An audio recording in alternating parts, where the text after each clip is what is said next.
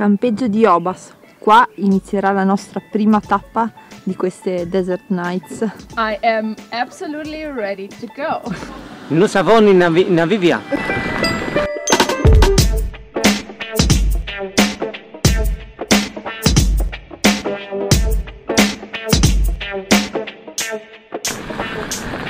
Siamo partiti, siamo sul tracciato delle Desert Nights. È bello sostoso, bello intrigante e divertente come piace a me. Figata, bellissimo.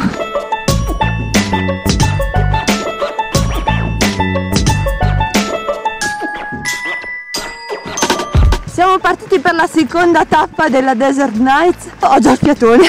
Lo faremo, lo faremo. Ce la faremo, faremo. yeah!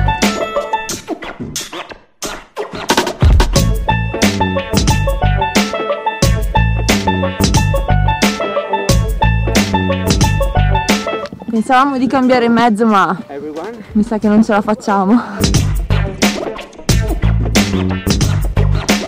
C'è una luce magnifica, il tramonto da questa parte, la luna piena dall'altra.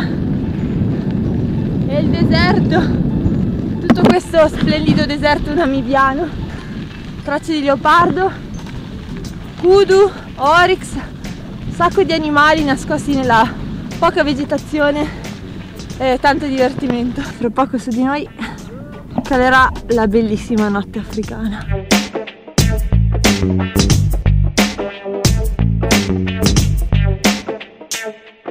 È scesa la notte sul deserto della Namibia, nel parco transfrontaliero fra Sudafrica e Namibia e ci mancano gli ultimi 25 km per il nostro, la nostra tenda.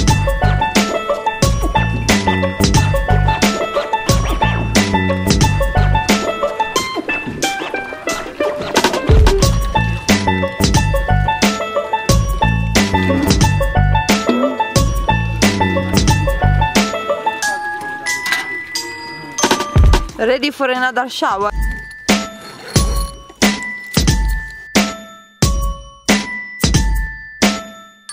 Ieri sera vi ho mostrato come veniva scaldata l'acqua per la doccia e ora vi faccio vedere la doccia dall'interno.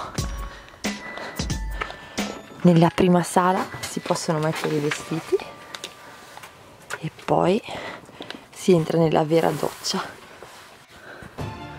Da fuori l'acqua viene messa nel- in questa sorta di secchio di tela e poi tramite questo rubinetto l'acqua scende. È iniziata la terza tappa delle Desert Nights. Si preannuncia una tappa interessante perché dopo i primi 20 km ci sarà un tratto di quasi 18 km piuttosto sabbioso. Adesso sono qua da sola quindi vado un po' avanti e ci vediamo dopo. Ieri in questo punto ho avuto un bel incontro con un serpente. Per fortuna sono riuscita ad evitarlo perché era notte, lui era arrotolato in mezzo alla strada e insomma non si sa mai che sia velenoso. A bordo strada ci sono le impronte di un sacco di animali, magari anche quelle del leopardo, le abbiamo viste anche ieri, sembravano pure fresche, ma del leo- leopardo nessuna traccia.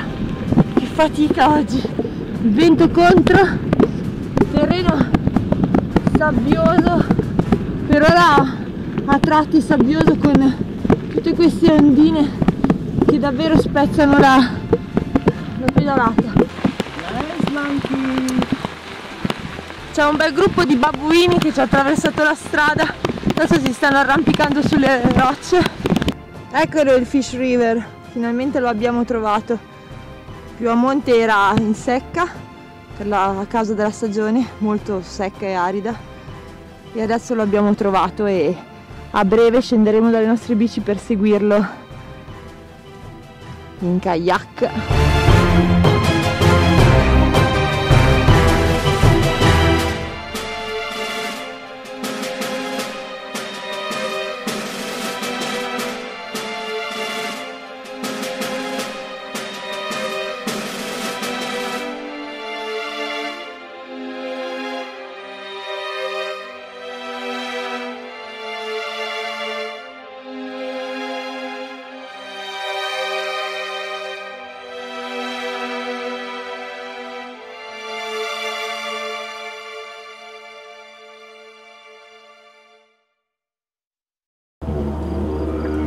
So,